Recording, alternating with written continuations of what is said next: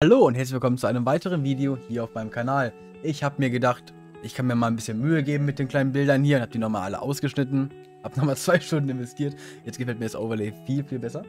Und wir werden jetzt ähm, die Challenge von gestern Abend nochmal spielen. Allerdings machen wir nicht fest drei Runden, sondern ich probiere so viele Runs in Folge zu schaffen, wie es nur geht. Und die Towers sind natürlich nur einmal pro Run erlaubt und in zukünftigen Runs werden die dann wieder gesperrt, so wie im letzten Video. Wir gehen auch direkt rein. Was haben wir? Alle 1000 an Common? Oder, oh, wir machen nur einen Red Tower zum Start. Das gefällt mir sehr gut.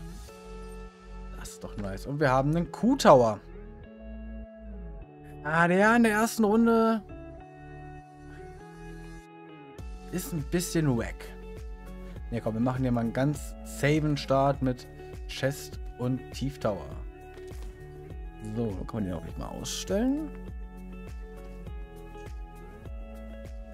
Perfekt. Schade. Es ist immer so 50-50. Manchmal gewinnt man oder saved man den ersten Mal mit den beiden Towern. Manchmal verliert man eine Krone dabei. So, was machen wir daraus?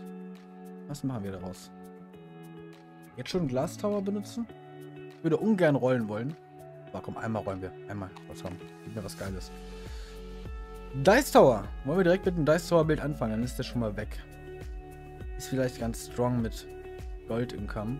Ja, komm, wir starten mit dem Dice Tower Run. Mmh. Ich möchte so wenig Tower wie möglich jetzt noch da rein investieren. Würden wir es schaffen, nur noch mit Dice und Clavern zu gewinnen?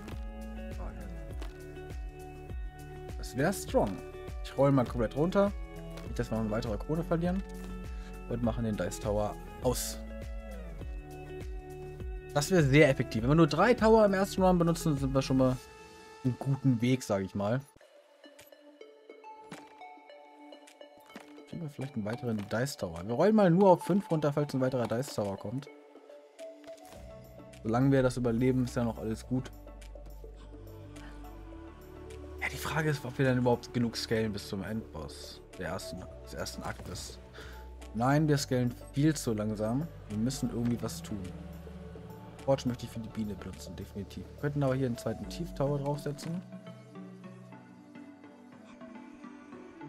Horse Tower würde ich gerne benutzen. Wenn wir mit Dice und Cleave spielen. Lava meine ich natürlich. Wenn wir hier das Horse suchen. Da ist es. Komm, machen wir lieber noch einen Horse Tower. Mal gucken, was wir jetzt im Shop haben. Princess. Wollen wir uns die Princess für ein anderen Bild aufheben oder wollen wir den jetzt da reinsetzen? Mit was wäre Princess denn sonst besonders stark? Ich finde, Princess können wir ruhig benutzen.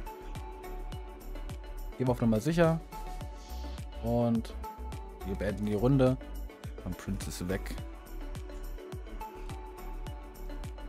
Also drei Runs würde ich schon sehr gerne schaffen. Ich hoffe, das Video geht nicht irgendwie sieben Minuten, weil ich jetzt gleich sterbe.